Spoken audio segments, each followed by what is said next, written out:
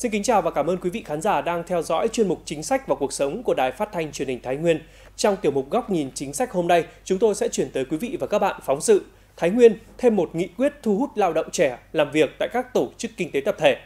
Phần cuối chương trình như thường lệ là mục cần và biết. Trước hết mời quý vị và các bạn cùng đến với tiểu mục Thông tin chính sách.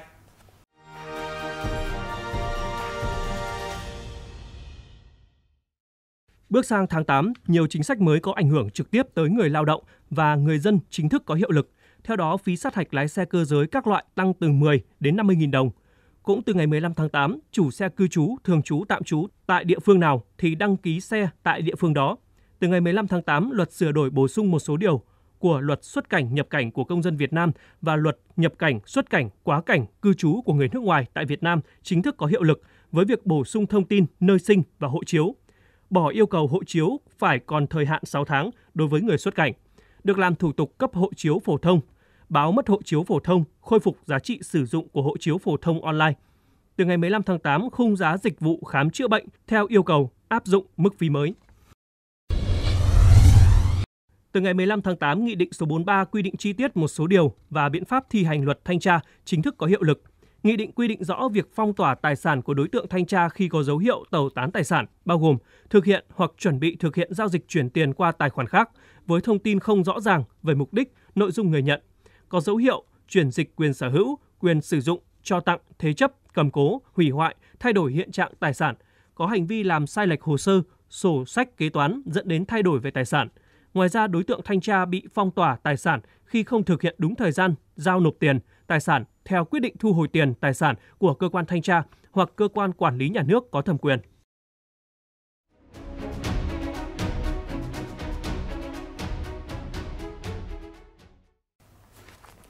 Thưa quý vị và các bạn, trước thực tế đội ngũ chủ chốt già hóa, hạn chế về năng lực quản lý và tiếp cận công nghệ là những thách thức mà các tổ chức kinh tế tập thể đang phải đối mặt.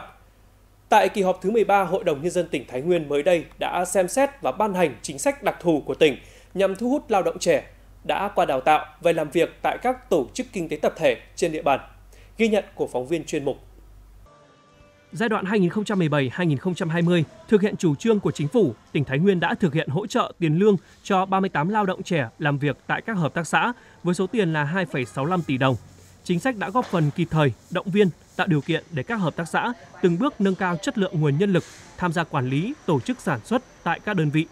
Tuy nhiên, số lao động trẻ đã qua đào tạo đang làm việc tại các tổ chức kinh tế tập thể trên địa bàn mới chỉ chiếm số lượng khiêm tốn. À, ngay sau khi à, được tốt nghiệp đại học, được chính sách hỗ trợ của Liên minh hợp xã tỉnh, thì tôi đã vào ngay hợp tác xã làm để phát triển cái ngành nghề chè truyền thống của địa phương. À, cái chính sách này thì thực sự là ý nghĩa giúp cho tôi uh, gắn bó với địa phương và trong công tác. Bản thân là các xã chúng tôi là thu hút cái nguồn nhân lực là những ờ, các cháu học có trình độ mà cũng như là trẻ để vào làm việc cho các xã làm sao mà hiệu quả nhất, nhanh nhẹn nhất thì sẽ những người lao động làm chân tay là những nhận thức của nông nghiệp sẽ cùng nhau phát triển. Thành lập từ năm 2007, Hợp tác xã Miến Việt Cường là một trong những mô hình kinh tế tập thể tiêu biểu trên địa bàn tỉnh với nhiều đổi mới trong phương thức sản xuất.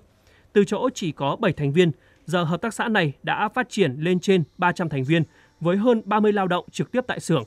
Tuy nhiên, đi cùng với sự phát triển nhanh chóng của hợp tác xã là vấn đề về chất lượng nguồn nhân lực. Đây là điều khiến những người quản lý vốn xuất phát điểm là nông dân băn khoăn trăn trở. Đội ngũ quản lý thì à, là từ bà con nông dân đi lên à, bởi vì là các hợp tác xã chủ yếu là hợp tác xã nông nghiệp. Thế vì vậy thì cái độ tiếp cận những cái công nghệ số hay là những cái công nghệ thông tin thì nó còn rất nhiều những cái hạn chế.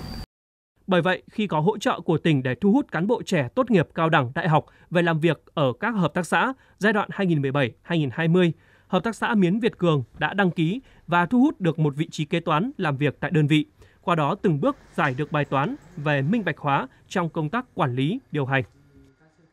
Ngoài cái phần mà tỉnh hỗ trợ thì hợp tác xã cũng có chi trả thêm, thế nên ra là cũng tạo cho tôi một cái mức thu nhập rất là ổn định và yên tâm công tác ở hợp tác xã. Cái chương trình mà dự án của tỉnh hỗ trợ nguồn nhân lực cho các hợp tác xã là một trong những cái dự án mà thiết thực nhất. Đó là trực tiếp hỗ trợ cho các hợp tác xã đang rất cần cái nguồn uh, lao động trẻ. Theo thống kê, Hiện số cán bộ quản lý tại các hợp tác xã trong tỉnh là gần 2.170 người, trong đó trình độ cao đẳng trở lên là gần 360 người, chiếm 16,4%, trình độ sơ cấp và trung cấp là trên 850 người, chiếm gần 40%, còn lại là chưa qua đào tạo. Do đó, các hợp tác xã gặp nhiều khó khăn về năng lực quản lý, điều hành hoạt động sản xuất kinh doanh.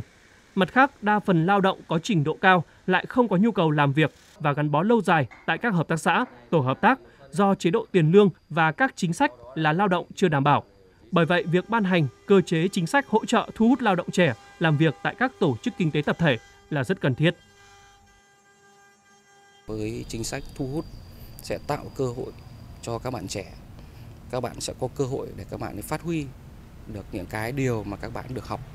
những cái điều mà các bạn ấy được nghiên cứu. Và đặc biệt nhất là những cái điều đấy nó sẽ mang lại những cái thuận lợi để giải quyết những cái công việc trong hợp tác xã mang lại những cái những cái thuận lợi cho bà con nông dân đấy, trong quá trình sản xuất trong quá trình lao động và cả trong quá trình quản lý của hợp tác xã. Sự hỗ trợ của tỉnh với cái uh, nguồn nhân lực thì nó chưa phải là nhiều nhưng mà chắc chắn nó là một cái động lực để khuyến khích cán bộ trẻ, lao động trẻ về làm việc tại hợp tác xã à, và từ đó thì họ thấy rõ được cái uh, vai trò cũng như là cái mô hình hoạt động của hợp tác xã rất là hiệu quả. Chúng tôi rất là mong muốn uh, để nghị quyết sớm được đưa vào thực tiễn hỗ trợ cho cái khu vực kinh tế tập thể hợp tác xã ngày càng phát triển.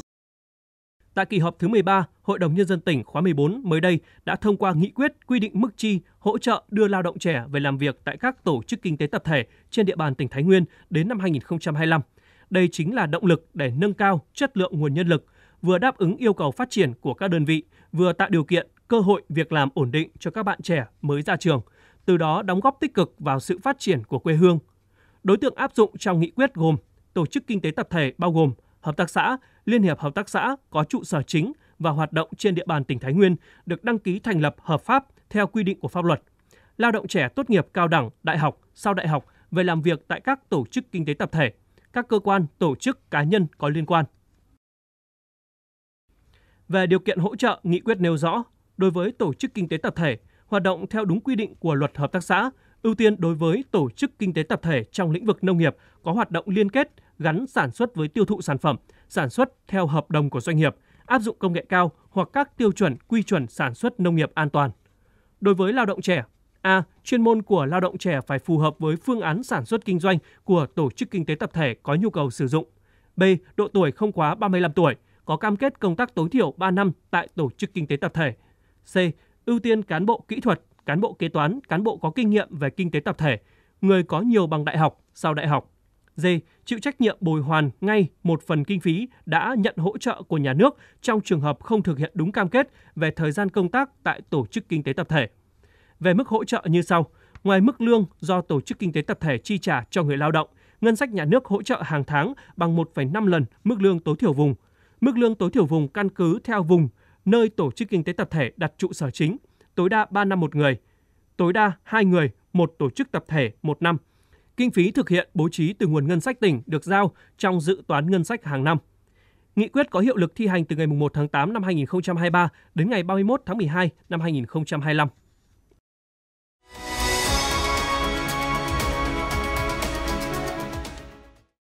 Tăng lương hưu, trợ cấp bảo hiểm xã hội Nghị định 42/2023 NDCP về điều chỉnh lương hưu, trợ cấp bảo hiểm xã hội và trợ cấp hàng tháng có hiệu lực thi hành từ ngày 14 tháng 8. Tuy nhiên, các quy định tại nghị định trên đã được thực hiện từ ngày 1 tháng 7. Cụ thể, điều chỉnh tăng thêm 12,5% trên mức lương hưu, trợ cấp bảo hiểm xã hội và trợ cấp hàng tháng của tháng 6 năm 2023 đối với người hưởng lương hưu, trợ cấp bảo hiểm xã hội hàng tháng trước ngày 1 tháng 1 năm 2022, tăng thêm 20,8% đối với người hưởng lương hưu, trợ cấp bảo hiểm xã hội hàng tháng từ ngày 1 tháng 1 năm 2022 đến trước ngày 1 tháng 7 năm 2023.